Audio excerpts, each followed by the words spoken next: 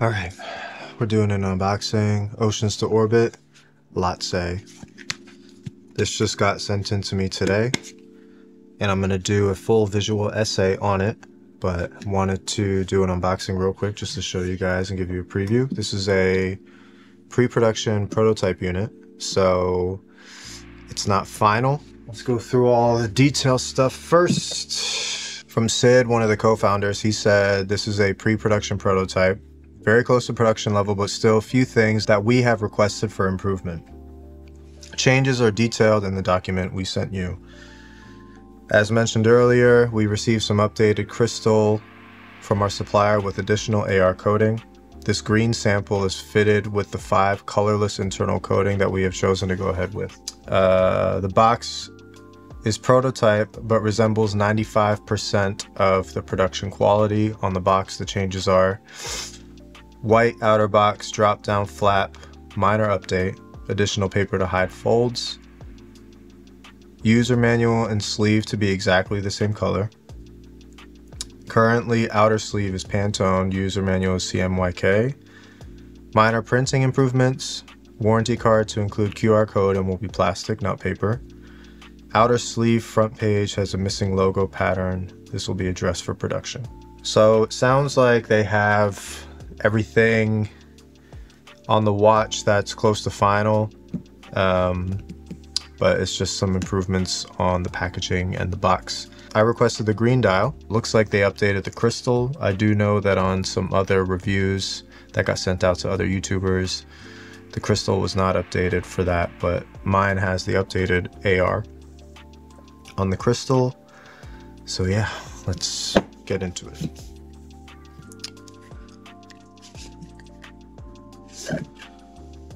Box feels great.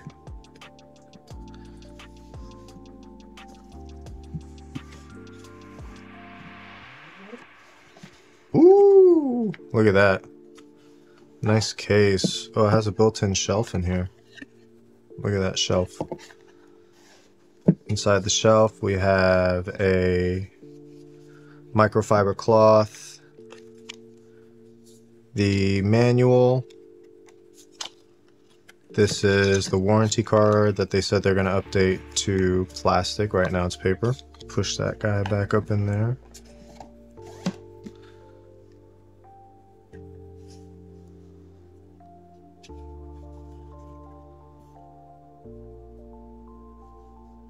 That's nice. Box is nice. Premium feeling box. Padded on the top. Definitely made of wood. I love the logo. I got the green dial. Some extra links. Let's put this foam over here.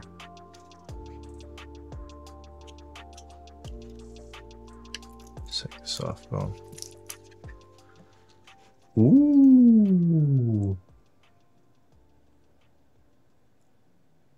That's nice.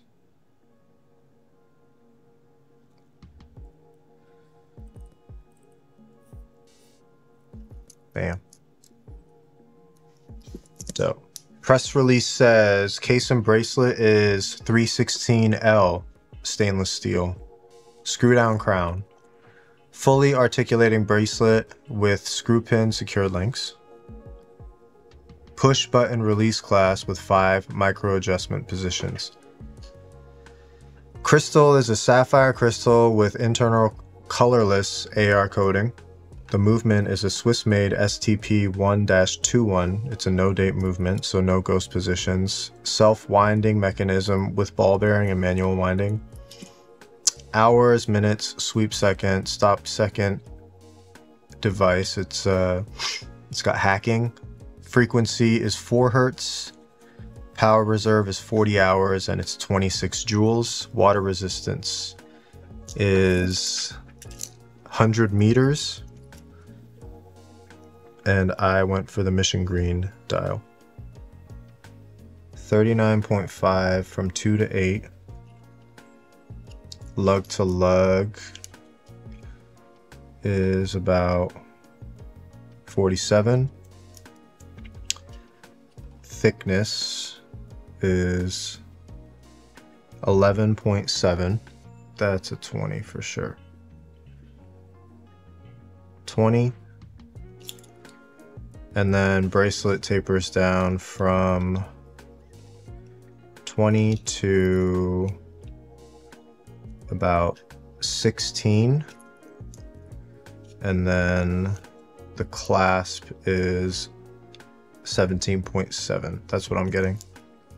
But I don't know. This thing's been acting weird. So not sure if this is, it might be off by a few decimal places, but for the most part, pretty accurate. Let me zoom in a bit for y'all.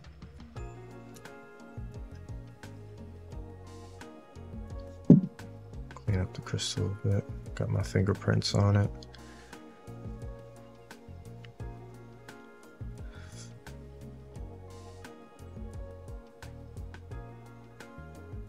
Looks amazing.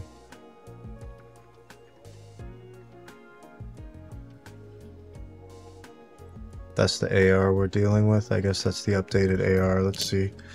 How does it compare to my Raven Endeavor, the AR?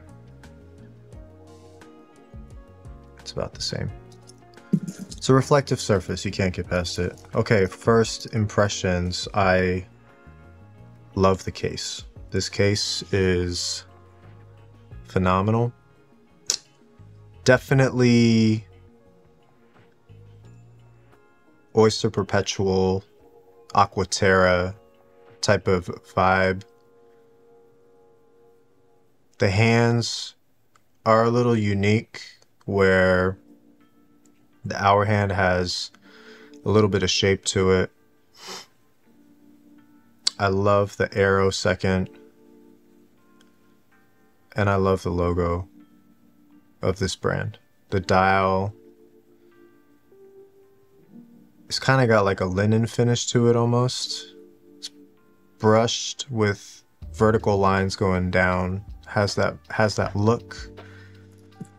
The crystal pops up over the bezel. Bracelet, um bracelet's nice. Got a nice taper to it, which I love. and um, seems to drape pretty well. The clasp feels very secure. That's nice. Milled clasp. I'm guessing these are going to be solid end links. Lhotse on the bottom, 100 meters, which is 330 feet. Screw down crown. Crown is a great size for winding. Winding up the watch feels very nice. Alright, let's take this guy off. Boom.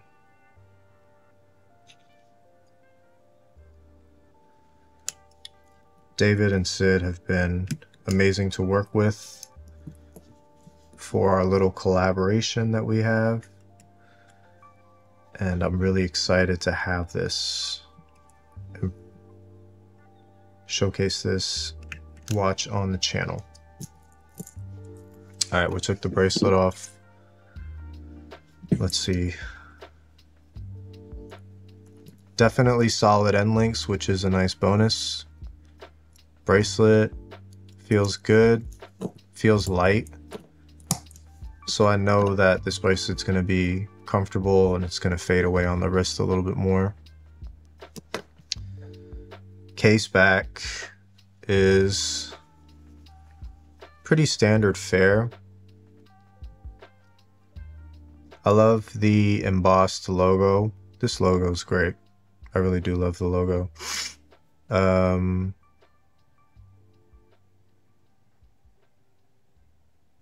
all the standard things that you would want on a case back. Name, there's some coordinates here uh, that probably represents Sydney, Australia, where they're from. Swiss made, the South Peak, Lhotse, Oceans to Orbit. Signed crown with their beautiful logo. I really do love this logo. Sweet. Applied indices with uh, ocean to orbit automatic on the top with their applied logo, let's say on the bottom. Hands and indices are polished. I believe this watch has Super take a look and see. Boom. Get my little black light thing going. Bam. Turn off the light. Definitely some loom. You can see it there.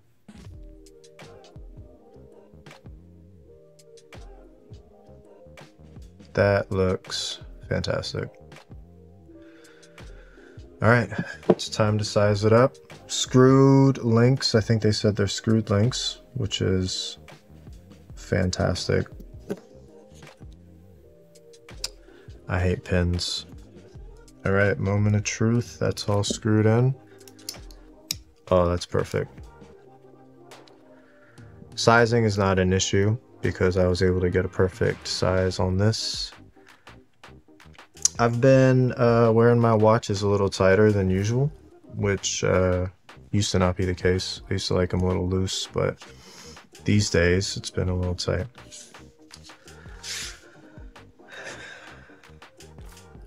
I really love how this thing looks.